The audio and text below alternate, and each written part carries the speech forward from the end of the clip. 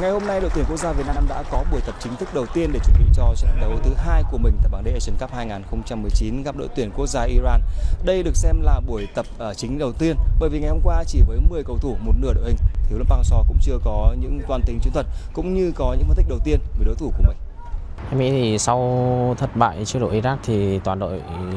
lúc đầu thì cũng có chút gì gọi là tiếc nuối và buồn, nhưng bây giờ thì toàn đội không khí đã trở nên ờ, tích cực hơn và toàn đội đã chuẩn bị sẵn sàng cho trận đấu với đội Iran sắp tới.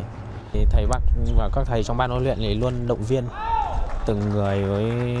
hô hào để lấy lại tinh thần. Sáng nay thì thầy cũng có họp chiến thuật và đưa ra những cái phương án mà cần để để phòng chống được ờ, Iran một cách tốt nhất. Đó là những chia sẻ của tiền vệ Trần Minh Vương trước buổi tập chiều nay của đội tuyển Việt Nam trên sân vận động Sultan Bin Zayed. Có thể thấy, HLV Park đã có sự chuẩn bị rất kỹ cho những phương án để khắc chế lối chơi hiện đại và mạnh mẽ của đối thủ nặng ký nhất tại bảng đấu. Ngoài sự chuẩn bị về chiến thuật và đấu pháp, ông thầy người Hàn Quốc cũng chuẩn bị kỹ về tinh thần cho các học trò của mình. Điều đó rất nhận thấy qua biểu hiện khá thoải mái của các cầu thủ trong buổi tập chiều nay. Và quan trọng hơn, tình hình lực lượng của đội tuyển Việt Nam đã được bảo toàn ở mức tốt khi ngoài một số cầu thủ bị đau nhẹ, toàn đội đều không gặp phải bất cứ chấn thương đáng tiếc nào.